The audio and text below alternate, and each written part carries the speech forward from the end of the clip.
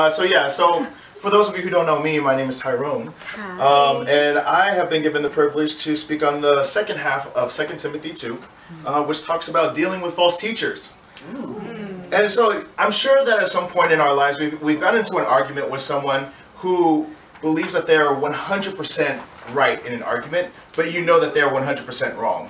like usually when I'm when I'm when I'm in those type of arguments, I just like stare at the person and I just just give them this look of like, okay, okay. But in my mind, I'm just thinking to myself, like, I cannot wait for you to finish that sentence so I can finish you off. and it's one of the best feelings ever. It's, it's definitely one of the greatest feelings to, to know that you are right while the other person is, is Oh wrong gosh. and they are convinced that they are right. Amen. And you know, it reminds me of this past Sunday.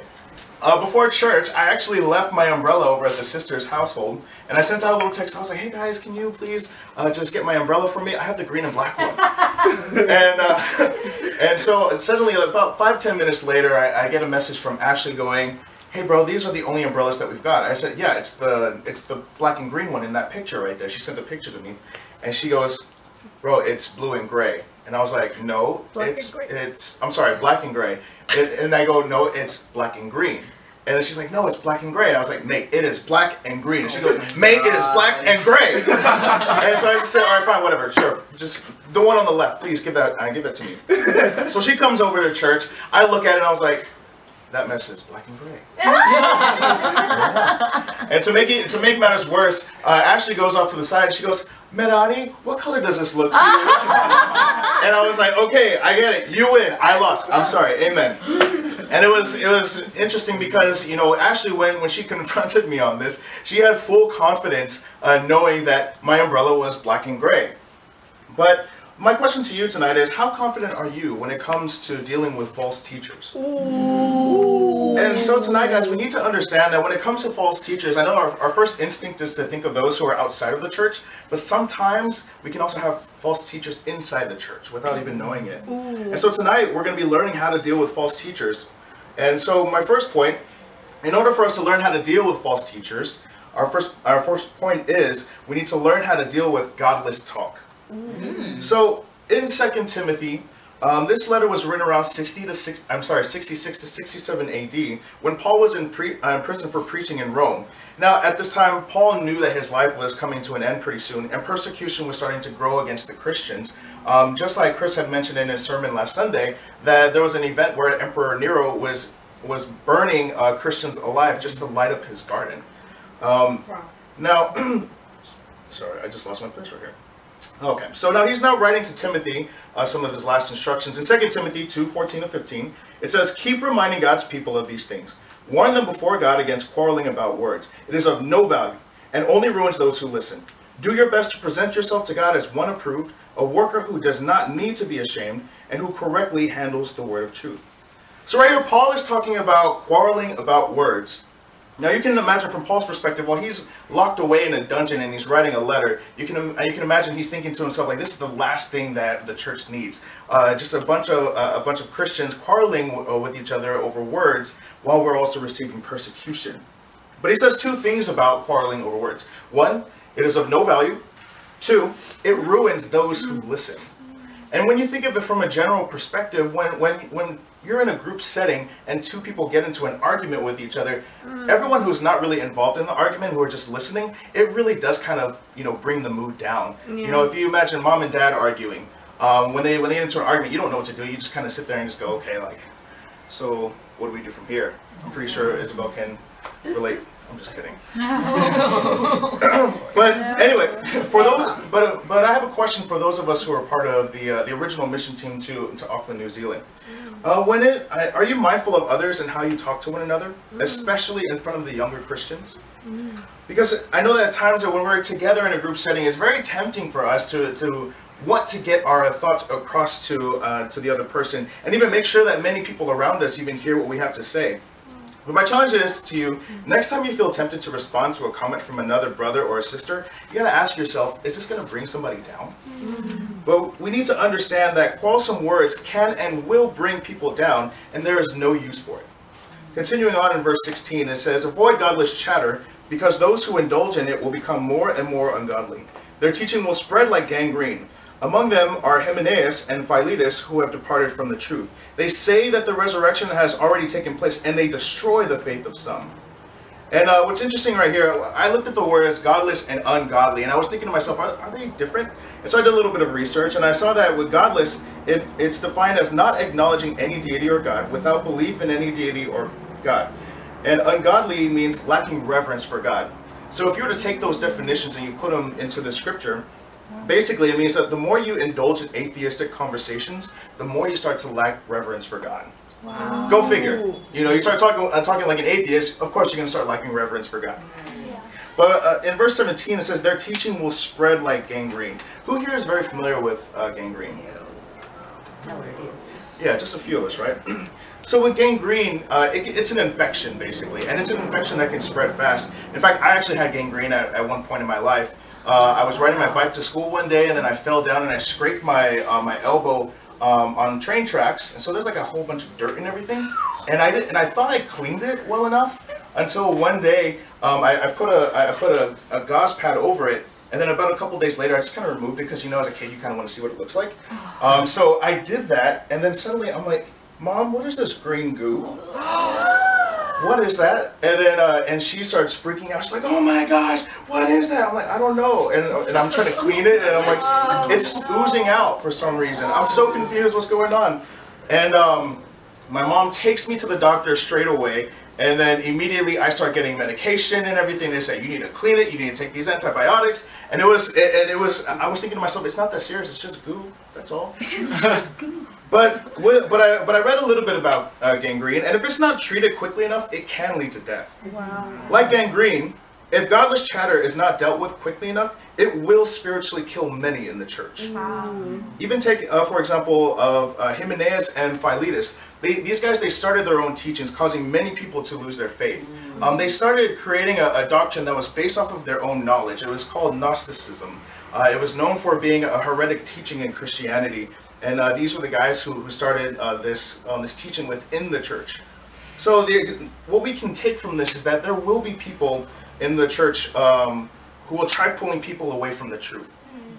And so for us, the best way that we can deal with it is that we need to know, we need to understand, and we need to teach the scriptures in order to not fall for uh, false teachings, not just simply having good arguments.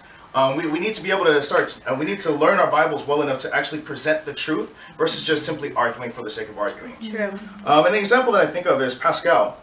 Um, I, I still I still hear the story several times about you know how um, how one of his friends was uh, was texting him and um, and he was texting him all these things you know like uh, being a Christian is really hard and Pascal just kept responding with scriptures scripture after Come scripture on, Callie. and it really shows how much he he doesn't I, he, he knows his Bible he understands it and Yeah. he's teaching the scriptures he's not just simply arguing or coming up with with good points to try to prove the other person wrong so my challenge to you guys, when it comes to uh, dealing with godless chatter or dealing with false teachers, you gotta understand your Bible. You gotta know your convictions. The best way how you can do it practically, um, I don't have it in the notes here, but I would say for one, go through the first principles. Uh, kind of like what uh, what Douglas was saying when he was going through the cross study. Sometimes you got to take yourself through the, the first principles in Yeah. order for you to re to relearn your convictions, to to relearn uh, the reasons why you believe in the things that you believe in.